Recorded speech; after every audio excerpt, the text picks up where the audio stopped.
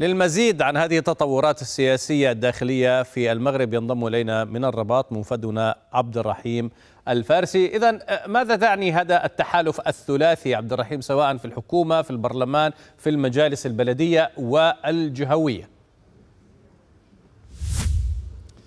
هذا التحالف يعني من جهة قطع الطريق على أي إمكانية لوصول أحزاب أخرى خاصة حزب العدالة والتنمية الذي يصنفه على الأقل حزب الأصالة والمعاصرة بأنه خط أحمر ولا تحالف معه في أي مكان ولا مجال.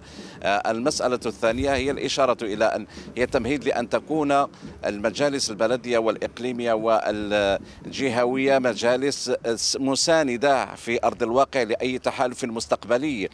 يتألف من هذه الأحزاب وتشكل على أساسه الحكومة المقبلة. الإشارة الثالثة هو أن هذه الأحزاب متقاربة في برامجها على الصعيد المحلي والإقليمي والجهوي وبالتالي ليست هناك عراقيل كبرى قد تعوق تحالفها لتشكيل أرضية برامجية بينها للدخول في الحكومة المقبلة. هذا يؤشر بوضوح على أن الحكومة ستتشكل عما قريب وحزب الأصالة والمعاصر الذي حصل على المرتبة الثانية في مجلس النواب قال في بيان له إنه أسند لرئيسه أو أمينه العام عبد اللطيف وهبي صلاحية التفاوض باسم الحزب من أجل تشكيل الحكومة.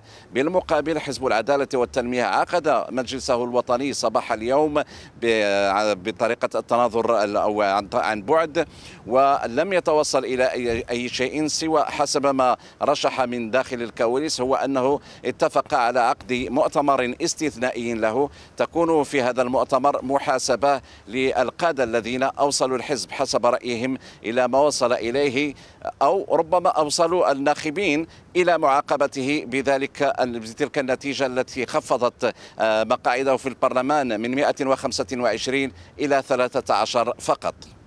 شكرا جزيلا لمفادنا إلى الرباط عبد الرحيم الفارسي.